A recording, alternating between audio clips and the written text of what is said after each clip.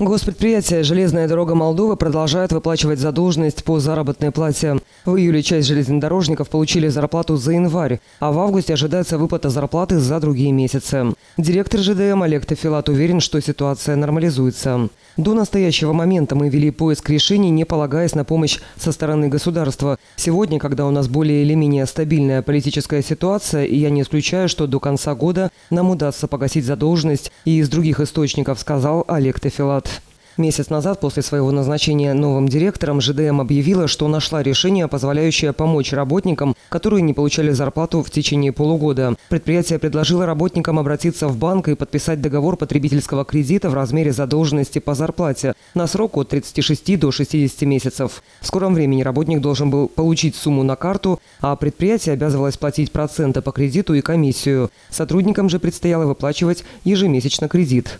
Впоследствии, когда финансовое положение железной дороги Молдовы стало бы лучше, людям планировалось выплатить зарплату. Однако идея не была хорошо воспринята работниками. По словам главы ЖДМ, это скорее связано с тем, что зарплата выплачивалась нерегулярно. Но ситуация меняется, предприятие увеличило объем работы, соответственно, возросли доходы. Мы возвращаемся в нормальное русло, сказал Тафилат. Может быть, нам и не понадобятся эти банковские кредиты, изначально предложенный вариант. Я в качестве администратора обязан предлагать сотрудникам решения. Я не хочу, чтобы мои коллеги-железнодорожники зависели от того, как скоро мы договоримся с правительством, найдем мы решение или нет, заключил Тафилат.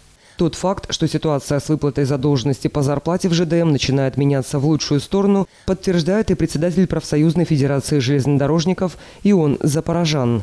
Работники 38 филиалов ЖДМ получили в прошлом месяце часть невыплаченной зарплаты. Также были перечислены профсоюзные членские взносы. В этом месяце нам обещали выплатить задолженность за июнь и другие месяцы. Имеется задолженность за февраль, март, апрель, май и июнь, сказал Запорожан. В то же время он отметил, что если государство не поможет, справиться собственными силами нереально. Что же касается банковских кредитов, которые были предложены работникам, он утверждает, что никто из сотрудников не согласился с таким решением. По состоянию на конец прошлого года кредитная задолженность ЖДМ составляла свыше 459 миллионов леев, а задолженность по заработной плате 35,5 миллионов леев. В настоящее время прокуратура по борьбе с организованной преступностью и особым делам осуществляет уголовное преследование по фактам хищения имущества госпредприятия «Железная дорога Молдовы» в особо крупных размерах. Действия, совершенные организованной преступной группой.